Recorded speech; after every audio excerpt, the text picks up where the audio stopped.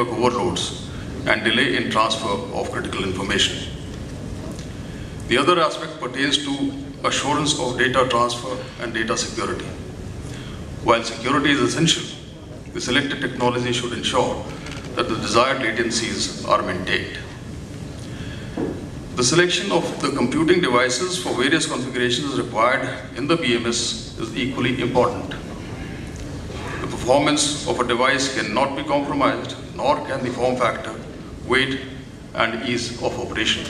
person in time. And therefore, it affects how battlefield will be managed from the tactical to the strategic level. More so, it also provides a great amount of edge. It provides a force multiplier effect in how an individual, a subunit, a entity of the force will respond to various situations as they come by. As I look at it, battlefield management system ensures that all activities within the operational environment are taken care of in terms of decision, in terms of command, and in terms of how that decision will be implemented. And these need to be fused together so that we have a system which is robust enough to take on the rigors and the needs of the soldier who operates in a very tough environment.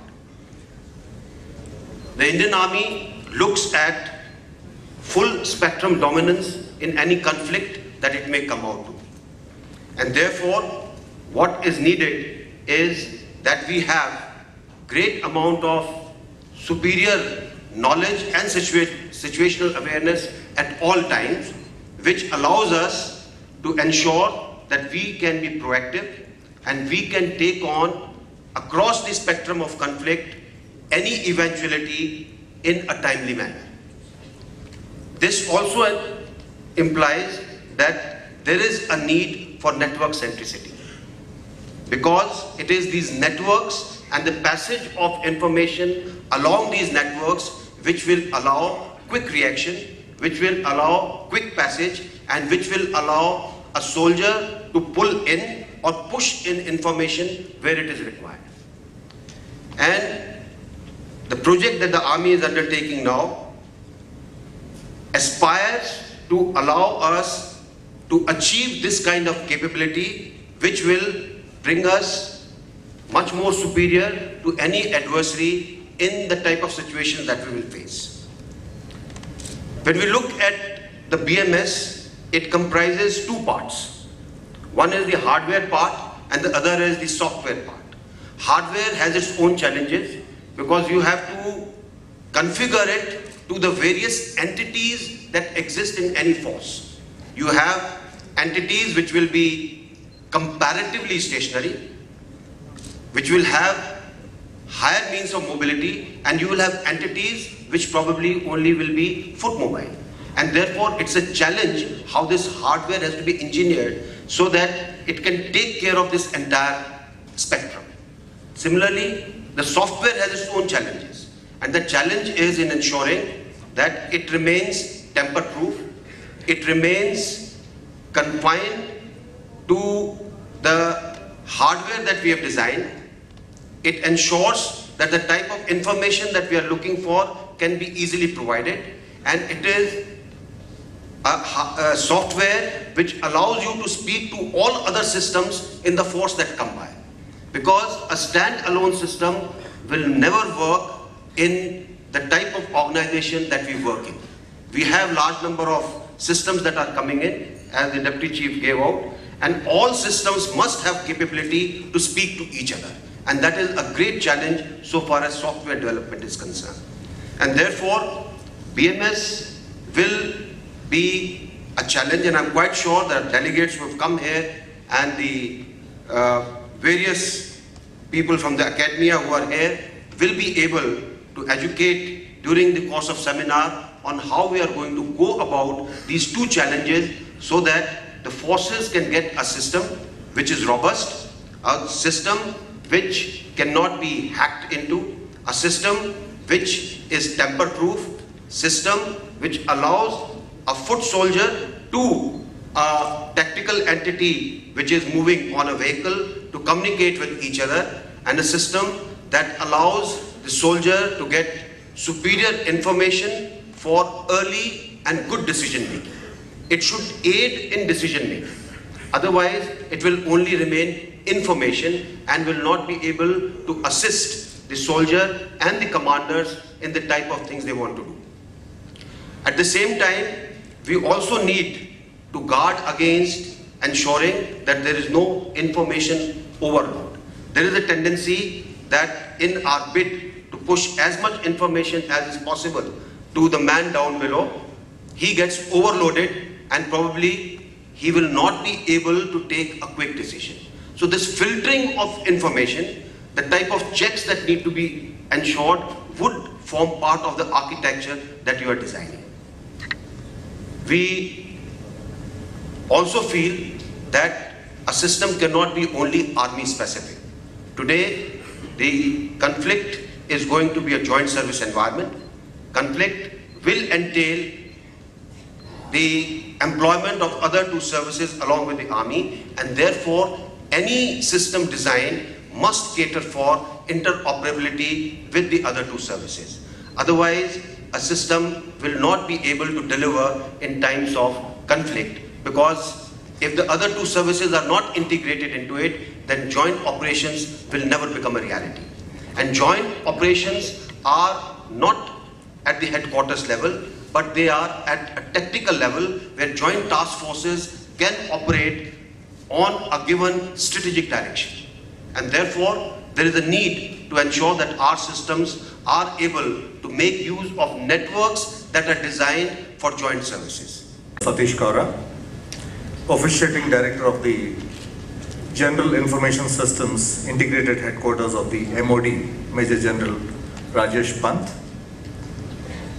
Deputy Chief of the Army Staff, Lieutenant General V.S. Tonk, Chairman CII Defense Committee on R&D Technology and Indigenization, and CEO Tata Power, SED, Mr. Rahul Chaudhary, distinguished participants, senior officers of the armed forces, members of the media, ladies and gentlemen. I think before the mood in this hall gets more serious and more somber, I wanted to recall a cartoon strip that I saw yesterday. Uh, it was a cartoon strip on uh, Andy Capp, that uh, beer drinking, football playing guy and his frustrated wife. The cartoon strip goes like this. He is woken up by his wife in the middle of the night and says, uh, Andy, Andy, wake up. I hear, I think I hear a burglar downstairs. And much to the consternation of his wife, he says, uh, please use the frying pan and not my new pool cue. So, battling burglars to the battle belt, uh, battlefield management systems. I think uh, we have an interesting seminar ahead, and I am privileged to be here and take this opportunity to thank General V.K. Singh, PVSM, AVSM, YSM, ADC, Chief of the Army Staff, Major General Rajesh Pant, VSM, Officiating Director, Officiating Director, General Information Systems, Mr. Satish Kaura, Co-Chairman CII National Defense Council and Chairman Sampro Group, and Mr. Rahul Chaudhary, Chairman CII Defense Committee and CEO Tata Power for inviting me today for this international seminar on the battlefield management system. War is a product of its age. The tools and tactics of how we fight have always evolved along with the changing technology. We are in an information age and technology can be construed as the DNA of the information age. The information age has transformed the commercial world in all aspects. The advent of internet has transgressed the traditional boundaries and we now have the luxury of BPOs, e-banking and e-governance totally dependent, dependent on a secure information network. The armed forces too have seen a major transformation in the way wars are being fought. Information and networks have emerged as important tools required for conducting successful operations.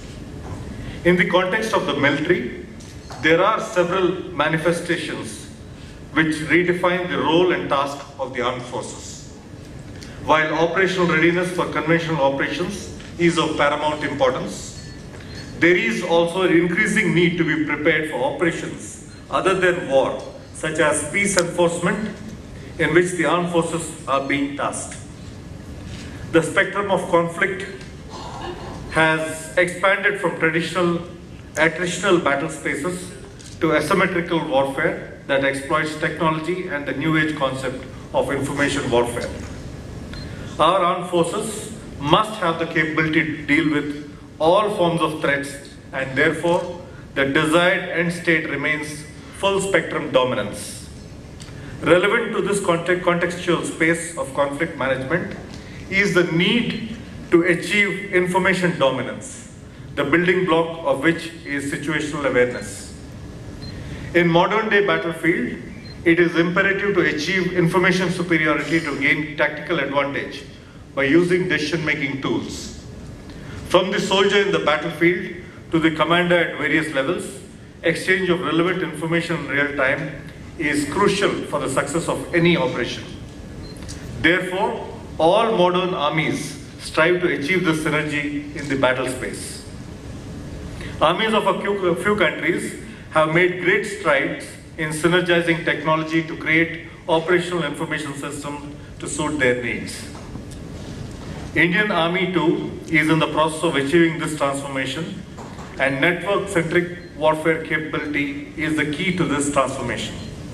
Apart from inducting modern weaponry, simultaneous development of information systems to exploit modern weapons and sensors is extremely important. Network-centric warfare capability is in essence integration of the sensors and shooters with the decision makers on a robust information grid. When we look at this capacity at the national level, it is not only the armed forces that need to be connected to this information grid, but also all agencies working towards the national war effort need this capability to provide the actionable information analysis of collated multi-source data to ensure that our armed forces always remain one step ahead of the adversary. Hence, we are looking at the information systems in the operational perspective as a collection of multiple interlinked systems. Within the armed forces, the defense communication systems will provide the information grid at the strategic level for the tri-services integration using the command, control, computers, communication, intelligence, and interoperability system. Similar systems within each service are at various stages of development and fielding. In the hierarchy of the armed forces, the number of users keeps increasing at lower levels. The real challenge lies in providing a robust command and control system to these users. While the operational plans are decided at higher levels, their execution leading to a successful operation remains in the hands of the soldiers manning the weapon and surveillance equipment in the field. It is this cutting edge that needs to be empowered using the technology. Developing state-of-the-art capability in the field of intelligence, surveillance and reconnaissance is another area that will assist us in this transformation. Satellite, satellite-based surveillance and unmanned air vehicles, when clubbed with our terrestrial sensors, would provide an intense quality of information about the enemy, which in turn will lead to an enhanced situational awareness. These capabilities will also lead to better efficiency in border management as well as in dealing with internal security situations.